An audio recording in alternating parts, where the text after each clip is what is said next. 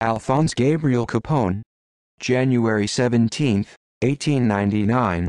January 25, 1947, sometimes known by the nickname Scarface, was an American gangster and businessman who attained notoriety during the Prohibition era as the co-founder and boss of the Chicago outfit.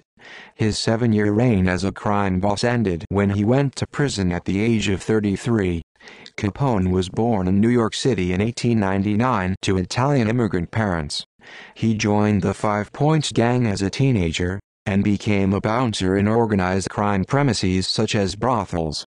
In his early 20s he moved to Chicago and became a bodyguard and trusted factotum for Johnny Torrio, head of a criminal syndicate that illegally supplied alcohol, the forerunner of the outfit, and was politically protected through the Unione Siciliana.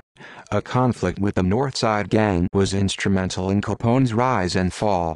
Torrio went into retirement after Northside gunmen almost killed him, handing control to Capone. Capone expanded the bootlegging business through increasingly violent means, but his mutually profitable relationships with Mayor William Hale Thompson and the city's police meant he seemed safe from law enforcement. Capone apparently reveled in attention, such as the cheers from spectators when he appeared at ball games.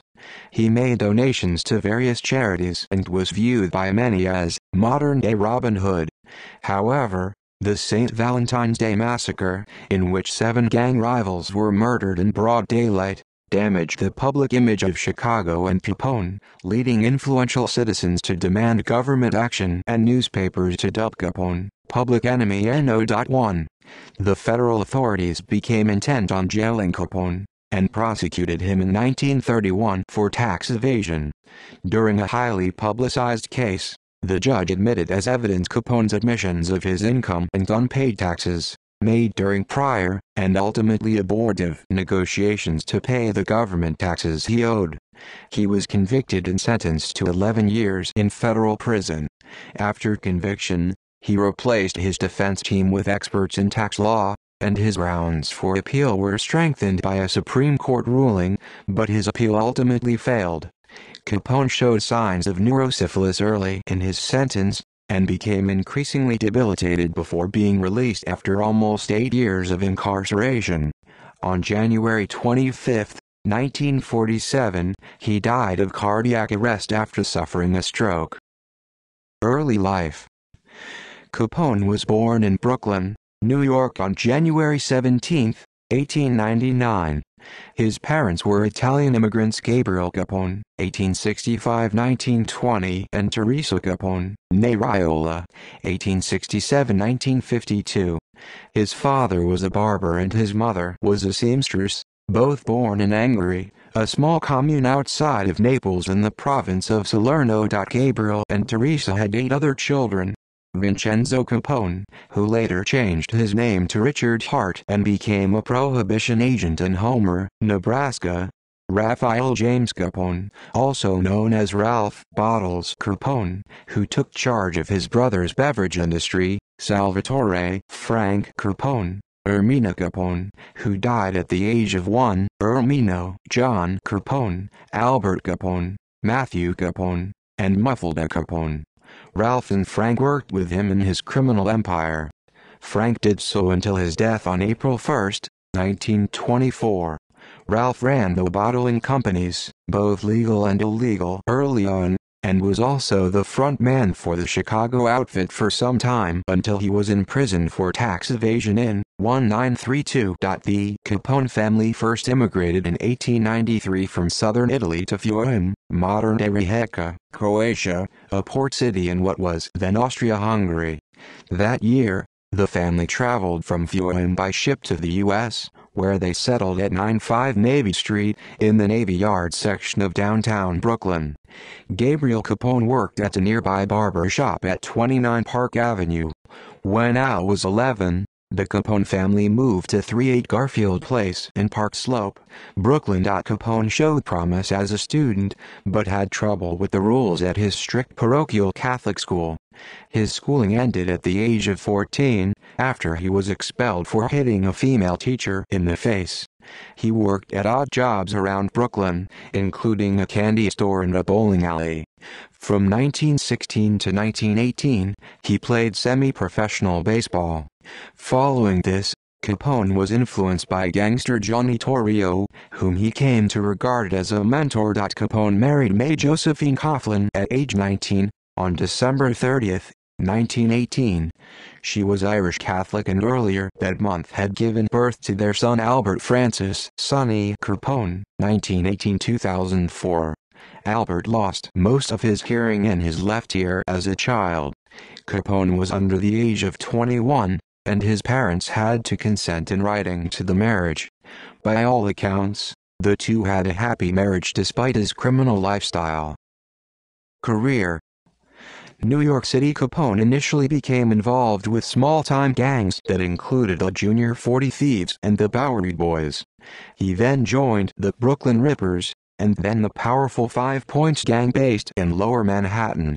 During this time, he was employed and mentored by fellow racketeer Frankie Yale, a bartender in a Coney Island dance hall and saloon called the Harvard Inn. Capone inadvertently insulted a woman while working the door, and he was slashed with a knife three times on the left side of his face by her brother Frank Galluccio. The wounds led to the nickname Scarface which Capone loathed. The date when this occurred has been reported with inconsistencies. When Capone was photographed, he hid the scarred left side of his face, saying that the injuries were war wounds. He was called Snorky by his closest friends, a term for a sharp dresser. Moved to Chicago in 1919, Capone left New York City for Chicago at the invitation of Johnny Torrio, who was imported by crime boss James, Big Jim Colosimo as an enforcer. Capone began in Chicago as a bouncer in a brothel, where he contracted syphilis. Timely use of salvarsan probably could have cured the infection, but he apparently never sought treatment.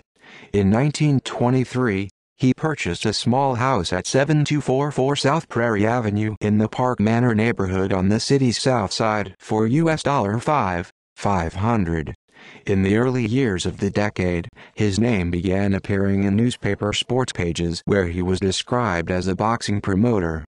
Torrio took over Colosimo's crime empire after Colosimo's murder on May 11, 1920, in which Capone was suspected of being involved. Torrio headed an essentially Italian organized crime group that was the biggest in the city, with Capone as his right-hand man.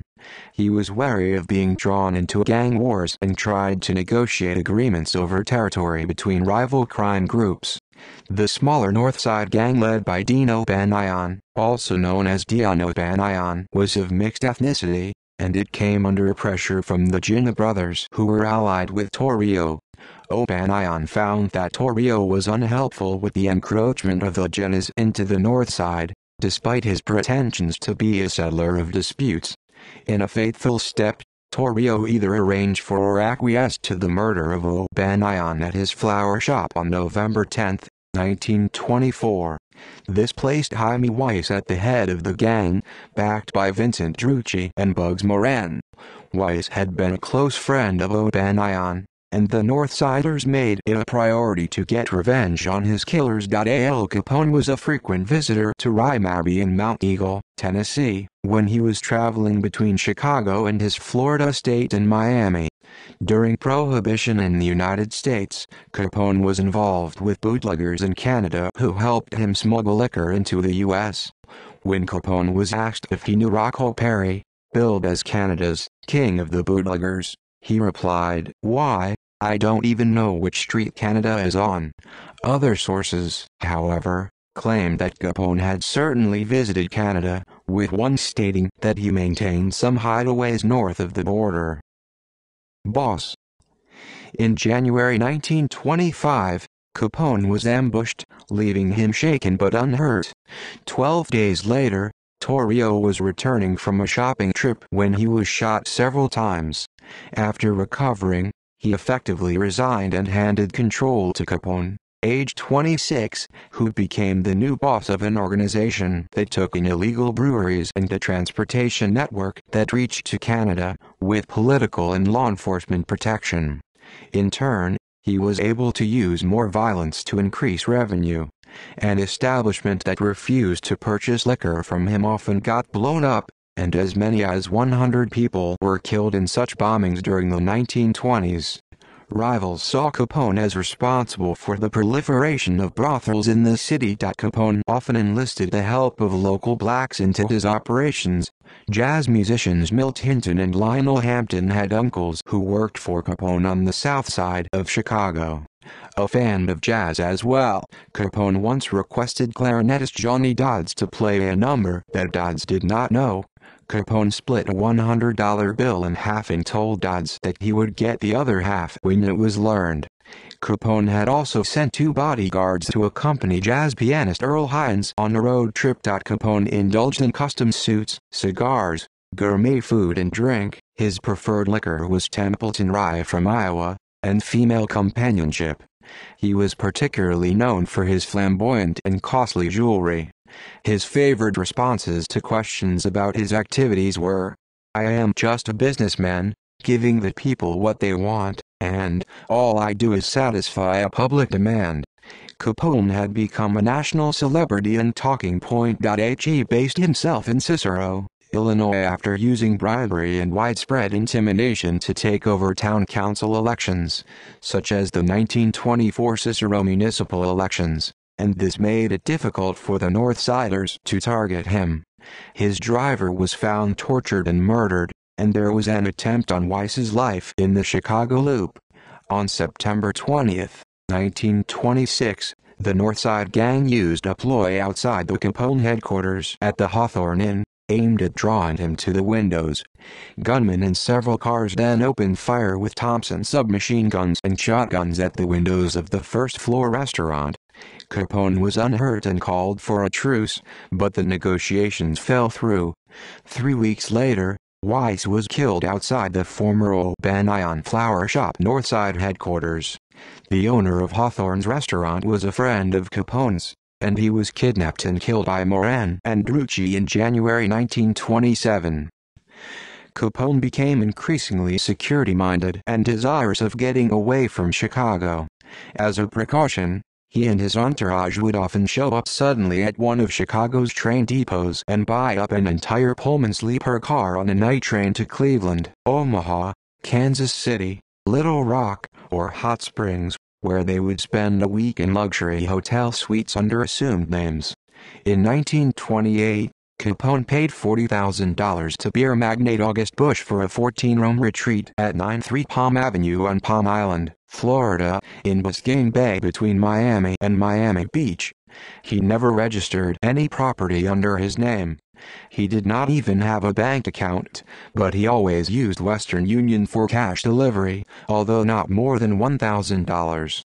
In an effort to clean up his image, Capone donated to charities and sponsored a soup kitchen in Chicago during the Depression. Political alliances The protagonists of Chicago's politics had long been associated with questionable methods, and even newspaper circulation wars, but the need for bootleggers to have protection in City Hall introduced a far more serious level of violence and graft. Capone is generally seen as having an appreciable effect in bringing about the victories of Republican William Hale Thompson, especially in the 1927 mayoral race when Thompson campaigned for a wide-open town, at one time hinting that he'd reopen illegal saloons. Such a proclamation helped his campaign gain the support of Capone, and he allegedly accepted a contribution of $250,000 from the gangster.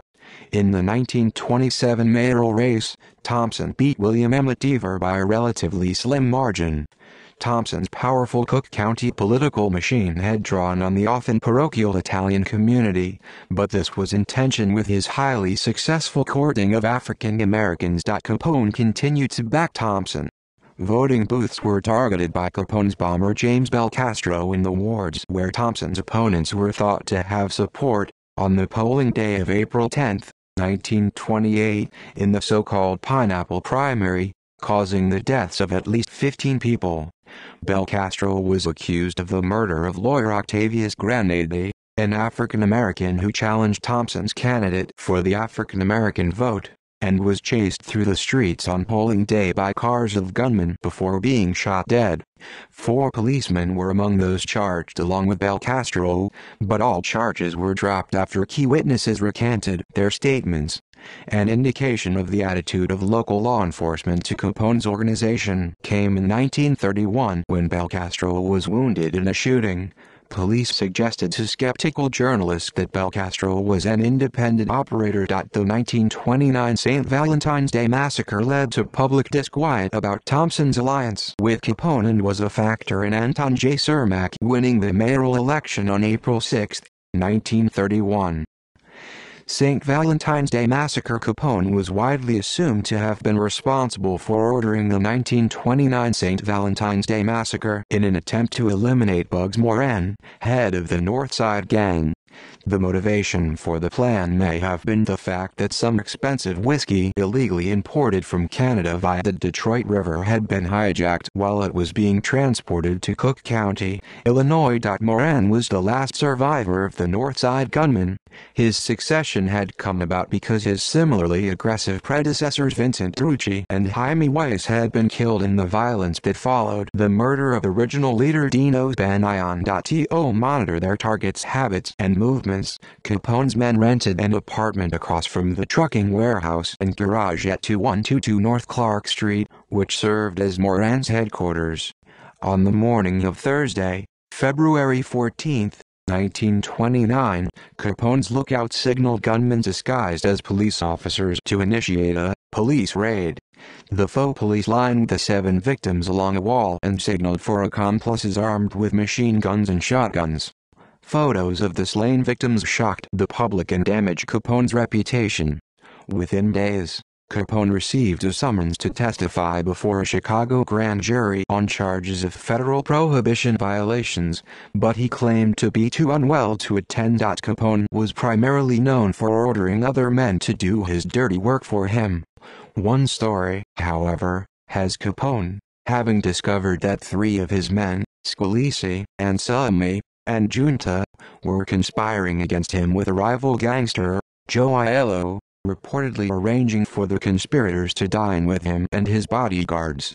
After a night of drinking, Capone beat the men with a baseball bat and then ordered his bodyguards to shoot them, a scene that was included in the 1987 film The Untouchables. Deirdre Bair, along with writers and historians such as William Elliott Hazelgrove, have questioned the veracity of the claim. Bair questioned why three trained killers could sit quietly and let this happen, while Hazelgrove stated that Capone would have been hard-pressed to beat three men to death with a baseball bat and that he would have instead let an enforcer perform the murders. However, despite claims that the story was first reported by author Walter Noble Burns in his 1931 book The One-Way Ride, The Red Trail of Chicago Gangland From Prohibition to Jake Lingle, Capone biographers Max Allan Collins and A. Brad Schwartz have found versions of the story in press coverage shortly after the crime. Collins and Schwartz suggest that similarities among reported versions of the story indicate a basis in truth and that the outfit deliberately spread the tale to enhance Capone's fearsome reputation. George Meyer, an associate of Capone's, also claimed to have witnessed both the planning of the murders and the event itself. Federal intervention in the wake of the St. Valentine's Day Massacre, Walter A. Strong, publisher of the Chicago Daily News, decided to ask his friend President Herbert Hoover for federal intervention to stem Chicago's lawlessness. He arranged a secret meeting at the White House, just two weeks after Hoover's inauguration. On March 19, 1929 Strong, joined by Frank Loesch of the Chicago Crime Commission, and Laird Bell, made their case to the president. In Hoover's 1952 memoir, the former president reported that Strong argued Chicago was in the hands of the gangsters, that the police and magistrates were completely under their control, that the federal government was the only force by which the city's ability to govern itself could be restored, At once I directed that all the federal agencies concentrate upon Mr. Capone and his allies. That meeting launched a multi-agency attack on Capone.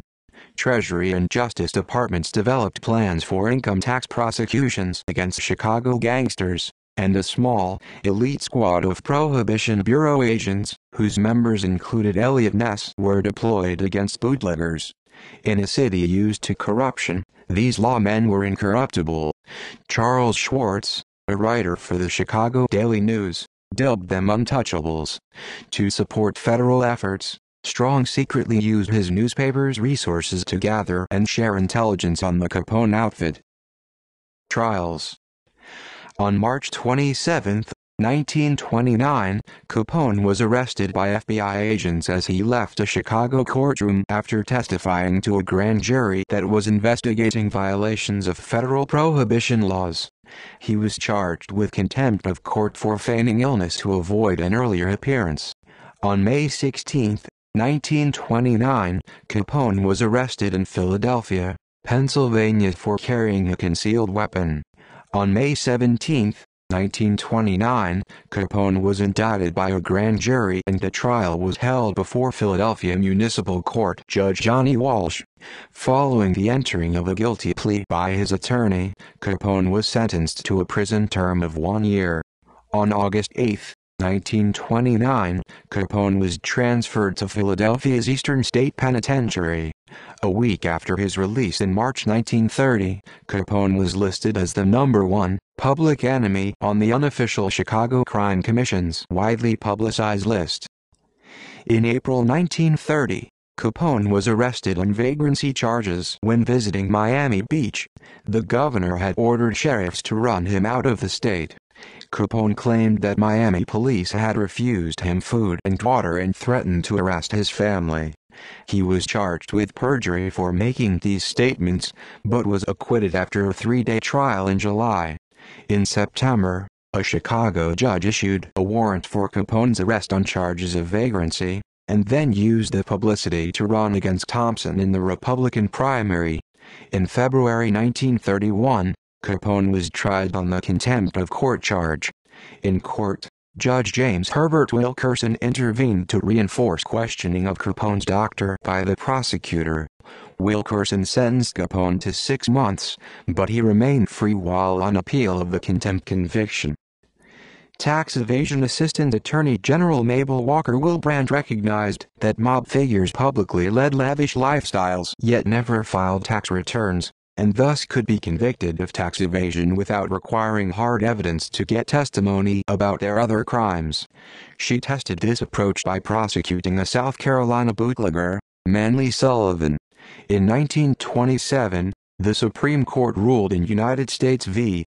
Sullivan that the approach was legally sound, illegally earned income was subject to income tax. Justice Oliver Wendell Holmes Jr. rejected the argument that the Fifth Amendment protected criminals from reporting illegal income. The IRS Special Investigation Unit chose Frank J. Wilson to investigate Capone, with the focus on his spending. The key to Capone's conviction on tax charges was proving his income and the most valuable evidence in that regard originated in his offer to pay tax. Ralph, his brother and a gangster in his own right, was tried for tax evasion in 1930. Ralph spent the next three years in prison after being convicted in a two-week trial over which Wilkerson presided. Capone ordered his lawyer to regularize his tax position. Crucially, during the ultimately abortive negotiations that followed, his lawyer stated the income that Capone was willing to pay tax on for various years, admitting income of $100,000 for 1928 and 1929, for instance. Hence, without any investigation, the government had been given a letter from a lawyer acting for Capone conceding his large taxable income for certain years. On March 13, 1931, Capone was charged with income tax evasion for 1924 in a secret grand jury. On June 5, 1931, Capone was indicted by a federal grand jury on 22 counts of income tax evasion from 1925 through 1929. He was released on $50,000 bail.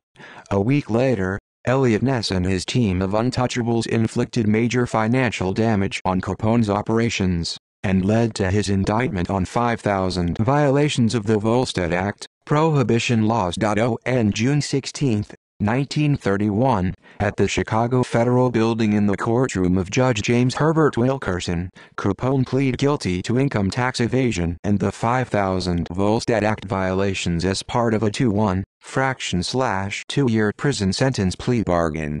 However, on July 30, 1931, Judge Wilkerson refused to honor the plea bargain, and Capone's counsel rescinded the guilty pleas.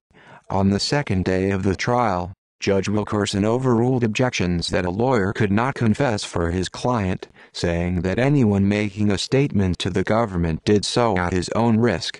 Wilkerson deemed that the 1930 letter to federal authorities could be admitted into evidence from a lawyer acting for Capone.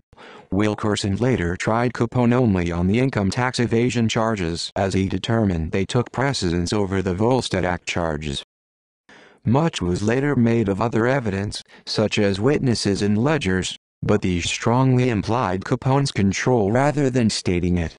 Capone's lawyers, who had relied on the plea bargain Judge Wilkerson refused to honor and therefore had mere hours to prepare for the trial, ran a weak defense focused on claiming that essentially all his income was lost to gambling. This would have been irrelevant regardless, since gambling losses can only be subtracted from gambling winnings, but it was further undercut by Capone's expenses, which were well beyond what his claimed income could support. Judge Wilkerson allowed Capone's spending to be presented at very great length.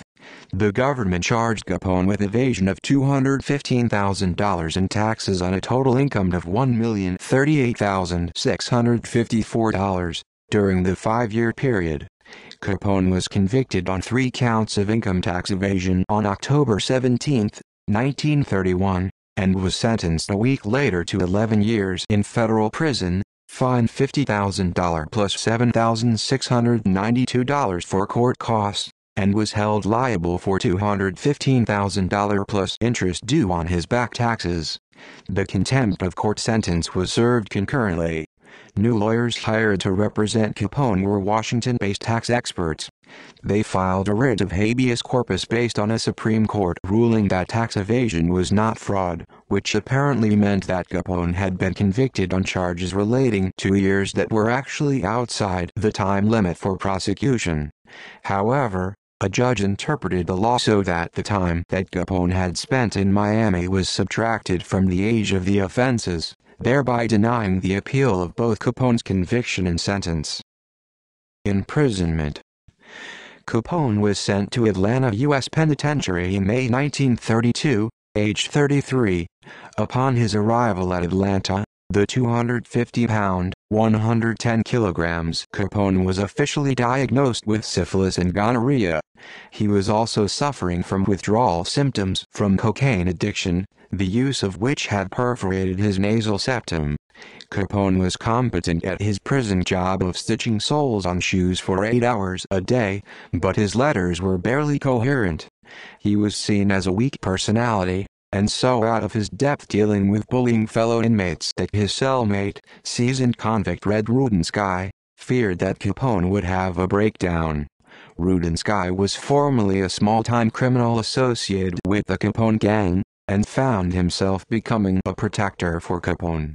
The conspicuous protection of Rudensky and other prisoners drew accusations from less friendly inmates, and fueled suspicion that Capone was receiving special treatment. No solid evidence ever emerged, but it formed part of the rationale for moving Capone to the recently opened Alcatraz Federal Penitentiary off the coast of San Francisco in August 1934. On June 23, 1936, Capone was stabbed and superficially wounded by fellow Alcatraz inmate James C. Lucas. At Alcatraz, Capone's decline became increasingly evident as neurosyphilis progressively eroded his mental faculties. His formal diagnosis of syphilis of the brain was made in February 1938.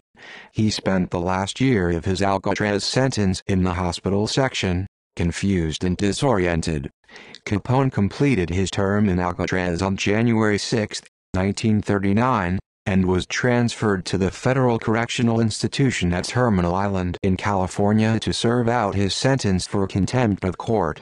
He was paroled on November 16, 1939, after his wife May appealed to the court, based on his reduced mental capabilities diagnosed.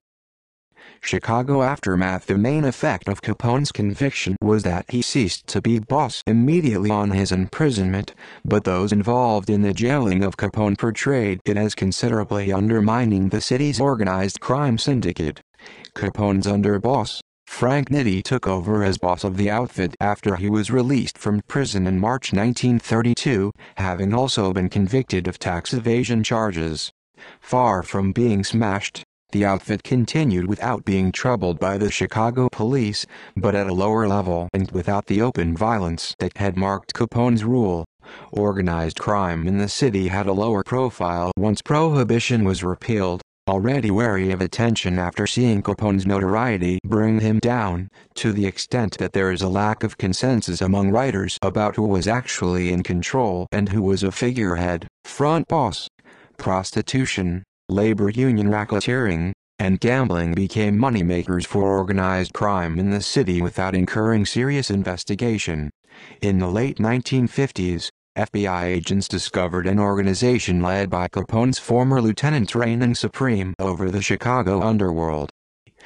Failing health and death due to his failing health, Capone was released from prison on November 16, 1939, and referred to Johns Hopkins Hospital in Baltimore for the treatment of paresis, caused by late-stage syphilis. Hopkins refused to admit him on his reputation alone, but Union Memorial Hospital accepted him. Capone was grateful for the compassionate care that he received and donated two Japanese weeping cherry trees to Union Memorial Hospital in 1939. A very sickly Capone left Baltimore on March 20, 1940, after a few weeks of inpatient and a few weeks of outpatient care, for Palm Island, Florida. In 1942, after mass production of penicillin was started in the United States, Capone was one of the first American patients treated by the new drug. Though it was too late for him to reverse the damage in his brain, it did slow down the progression of the disease. In 1946, his physician and a Baltimore psychiatrist examined him and concluded that Capone had the mentality of a 12-year-old child. Capone spent the last years of his life at his mansion in Palm Island, Florida, spending time with his wife and grandchildren. On January 21, 1947, Capone had a stroke. He regained consciousness and started to improve, but contracted bronchopneumonia. He suffered a cardiac arrest on January 22, and on January 25, surrounded by his family in his home, Capone died after his heart failed as a result of apoplexy. His body was transported back to Chicago a week later and a private funeral was held. He was originally buried at Mount Olivet Cemetery in Chicago. In 1950, Capone's remains, along with those of his father, Gabriel, and brother, Salvatore, were moved to Mount Carmel Cemetery in Hillside, Illinois. Victims According to an article from February 9, 1936 by Guy Murchie Jr. from the Chicago Daily Tribune, 33 people died as a consequence of Al Capone's actions.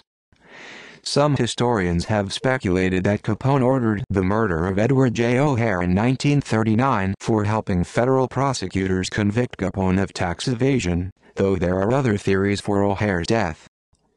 In popular culture Capone is one of the most notorious American gangsters of the 20th century and has been the major subject of numerous articles, books, and films.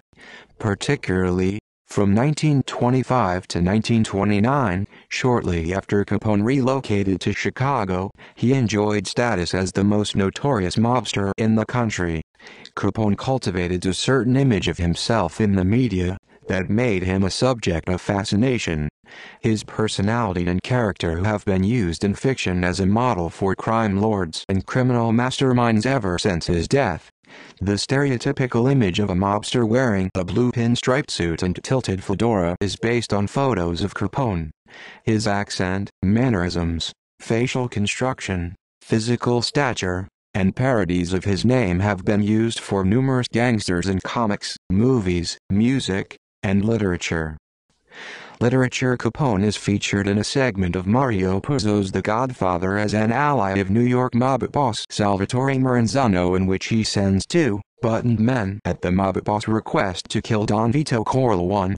Arriving in New York, the two men are intercepted and brutally killed by Luca Brasi, after which Don Corleone sends a message to Capone warning him not to interfere again, and Capone apparently capitulates. Capone appears in Hergé's comic book Tintin in America, one of only two real-life characters in the entire The Adventures of Tintin series. A reincarnated Capone is a major character in science fiction author Peter F. Hamilton's Night's Dawn trilogy. Capone's grandniece Deirdre Marie Capone wrote a book titled Uncle Al Capone, The Untold Story from Inside His Family. Al Capone is the inspiration for the central character of Tony Camonte in Armitage Trail's novel Scarface, 1929, which was adapted into the 1932 film. The novel was later adapted again in 1983 with the central character of Tony Montana. Jack Bilbo claimed to have been a bodyguard for Capone in his book Carrying a Gun for Al Capone, 1932. Al Capone is mentioned and met by the main character Moose in the book Al Capone Does My Shirts. Film and television Capone has been portrayed on screen by Rod Steiger and Al Capone, 1959, Neville Brand in the TV series The Untouchables and again in the film The George Raft Story, 1961, Jose Calvo and Du Mafiosi control Al Capone, 1966, Jason Robards in the St. Valentine's Day Massacre, 1967, Ben Gazzara and Capone, 1975, Robert De Niro and Brian De Palma's Eliot Ness biopic The Untouchables, 1987, Ray Sharkey in The Revenge of Al Capone, 1989, Eric Roberts in The Lost Capone, 1990, Titus Welliver in Mobsters, 1991, Bernie Gigliotti in The Babe, 1992, in a brief scene in a Chicago nightclub during which Capone and his mentor Johnny Torrio, played by Guy Barial, meet the film's main character Babe Ruth, portrayed by John Goodman. William Forsythe in The Untouchables, 1993-1994 William Devane and Lois and Clark, The New Adventures of Superman, Season 2, Episode 7, That Old Gang of Mine, 1994 F. Murray Abraham and Dillinger and Capone, 1995 Anthony LaPaglia in Road to Perdition, 2002 In a deleted scene Julian Littman and Al's Lads, 2002 John Jon Bernthal Night at the Museum, Battle of the Smithsonian, 2009 Stephen Graham in all seasons of the HBO series Boardwalk Empire, 2010-2014 Isaac Keown in Legends of Tomorrow, 2016 Michael Hillis in The Making of the Mob, Chicago, 2016 Cameron Guerrier in Timeless, 2017 Tom Hardy in Josh Trank's biopic Capone, 2020 Actors playing characters based on Capone include Wallace Beery as Louis, Louis Scorpio in The Secret Six, 1931. Ricardo Cortez as Goldie Gorio in Bad Company, 1931. Paul Lukas as Big Fellow Maskal in City Streets, 1931. Edward Arnold as Duke Morgan in OK, America, 1932, Jean Hersholt as Samuel Sam Belmont in The Beast of the City, 1932, Paul Muni as Antonio Tony Camonte in Scarface, 1932, C. Henry Gordon as Nick Diamond in Gabriel Over the White House, 1933, John Litel as Gat Brady in Alcatraz Island, 1937, Barry Sullivan as Shubunka in The Gangster, 1947, Edward G. Robinson as Johnny Rocco in Key Largo, 1948, Ralph Vaughan as Big Fellow in The Undercover Man, 1949, Edmond O'Brien as Fran McHargue in Pete Kelly's Blues, 1955, B.S. Pulley as Big Jewel, an intimidating, gun-toting mobster from East Cicero, Illinois in the film adaptation of Guys and Dolls, 1955, reprising the role that Pulley had originated in the Broadway musical. Lee J. Cobb as Rico Angelo in Party Girl, 1958. George Raft as Spats Colombo and Nehemiah Persoff as Little Bonaparte in Some Like It Hot, 1959. Cameron Mitchell as Boss Rojak in My Favorite Year, 1982. Harvey Atkin as Al Koopa, King Koopa in the Super Mario Bros. Super Show episode, The Unzappables, 1989. Al Pacino as Alphonse, Big Boy Caprice and Dick Tracy, 1990. Music Prince Buster, Jamaican ska and rocksteady musician, had his first hit in the UK with the single, Al Capone in 1967. The British pop group Paper Lace's 1974 hit song, The Night Chicago Died mentions that, a man named Al Capone, tried to make the town his own, and he called his gang to war, with the forces of the law. British rock band Queen referenced Al Capone in the opening of their 1974 song, Stone Cold Crazy, which was covered in 1990 by the American rock band Metallica. In 1979, The Specials, a UK ska revival group, reworked Prince Buster's track into their first single, Gangsters, which featured the line, Don't Call Me Scarface.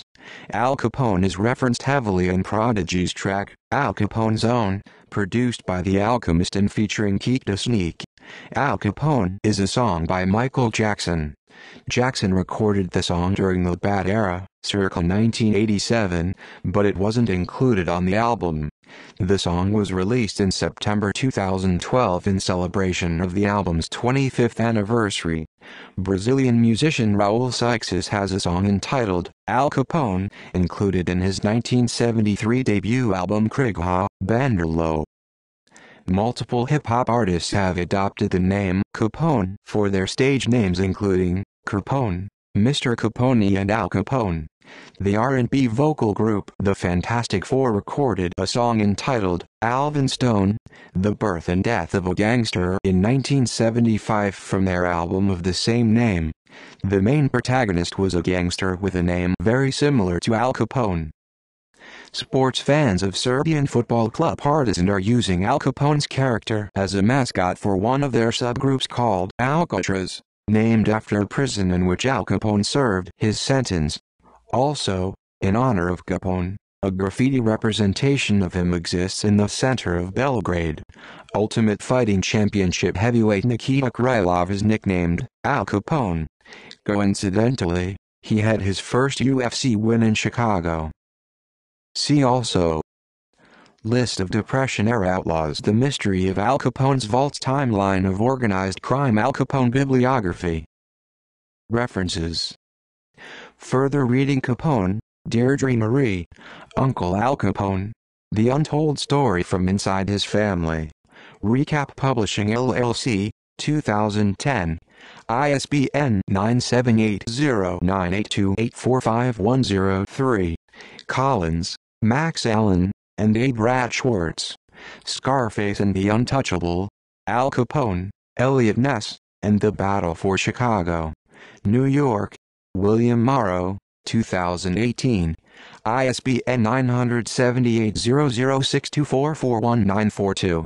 Helmer, William J. Al Capone and His American Boys. Memoirs of a Mobster's Wife. Bloomington, IN. Indiana University Press, 2011. ISBN 978-0253-356062. Hoffman Dennis E. Scarface Al and the Crime Crusaders, Chicago's Private War Against Capone. Southern Illinois University Press.